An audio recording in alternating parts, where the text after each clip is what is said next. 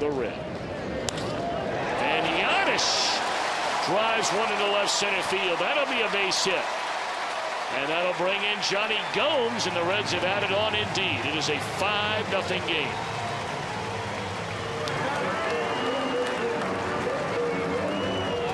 Well, Janish struck out the first time that he faced Chris Narveson in this ball game. This time he gets a 2-0 pitch.